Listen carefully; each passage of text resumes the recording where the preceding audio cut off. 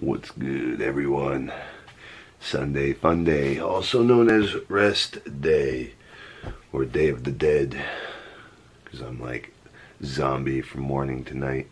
I figure it's rest day. You guys don't want to see me sleeping in bed all day, but I promised y'all I'll give you a video a day until until fight day. So I'm gonna just walk you through a normal day in the life of me.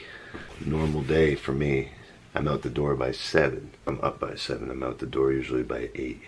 And I like to have an hour, hour and a half before I get to the gym. So maybe I go to the beach and then I arrive at the gym around 11.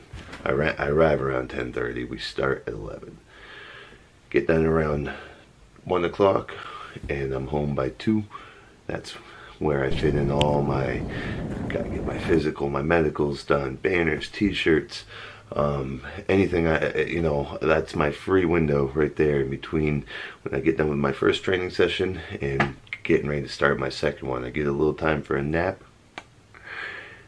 back to the gym in the evening.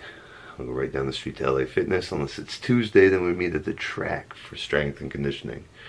Back up in the morning and I do it again. If I get any free time, it's in between uh, waking up and getting to the gym in the morning. It's in between my first training session and my second training session. Get a few hours in there. Or it's on Sunday. Today. Yeah, I spent it in bed. But I'm coming up on my hardest week of training right now. So I like to start Mondays fresh. We start tomorrow bright and early. And uh, I'll be documenting all of it. This will be the hell week is why I like to call it. And uh, my favorite week. And then we start cutting and we prepare for war. We're already prepared. We just go to war. Fucking...